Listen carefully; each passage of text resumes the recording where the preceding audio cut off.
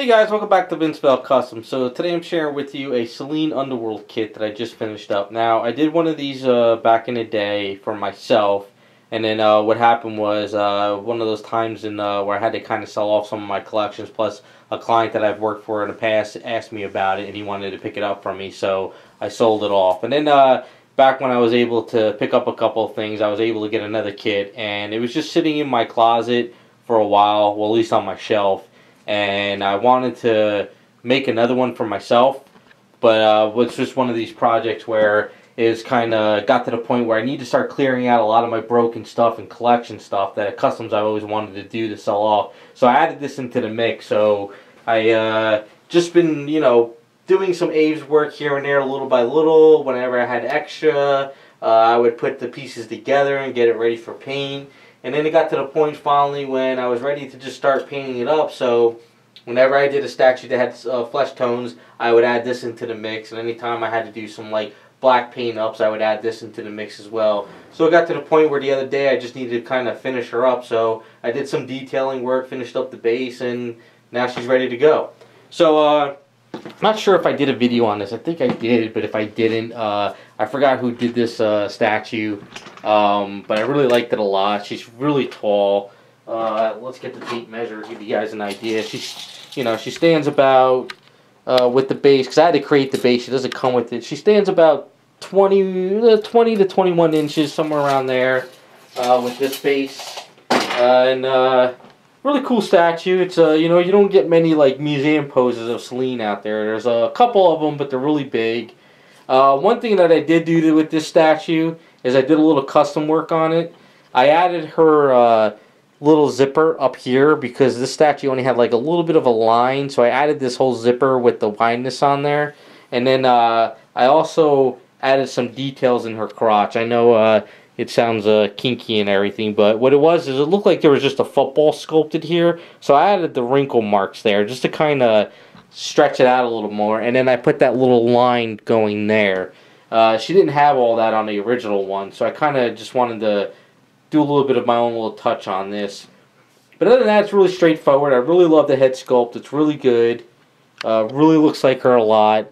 Uh, I had a little bit of fun painting this one. Uh, I think the last one I did, I did more of like a vampire look on her, but this one I gave a little bit more flesh. I was looking at some specific artwork on her.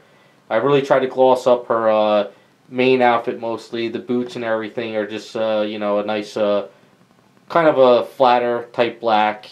Um, I didn't really detail any of like her uh, buckles or anything because if I look at the artwork and stuff on her, you know, she really doesn't have a lot of like metal buckles and even on the thing. It's pretty much all one simple color, so that's what I ran with.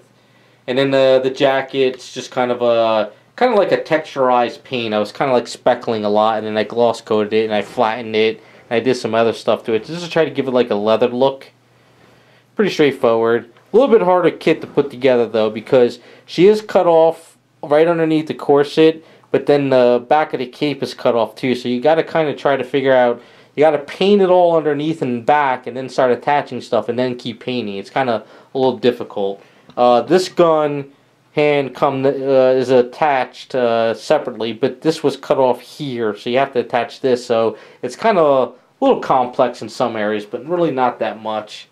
Uh, but a really great kit. I like it a lot. She's a really great, uh, really great sculptor. Like I said, I forgot who did this. I can't really remember who did it. I think the head though was sculpted by Troy McDivitt, but I I'm not really sure. Maybe somebody who knows this kid a little bit more can chime on.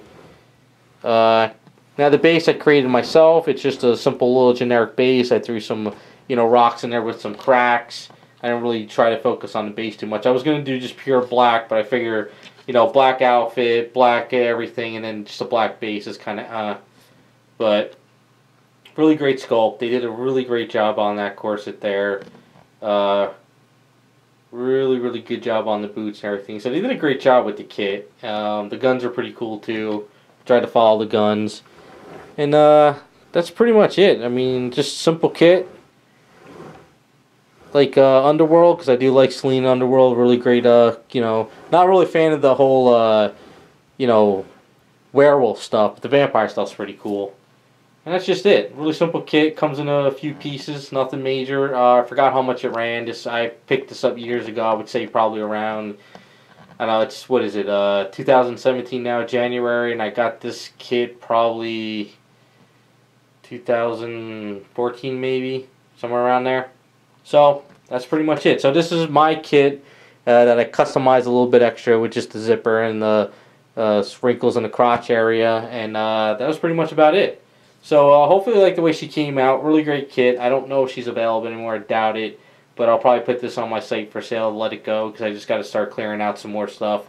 Too much damaged stuff. Gotta let it go. But hopefully you like the way she came out. Thanks for watching, and we'll be back with some more videos.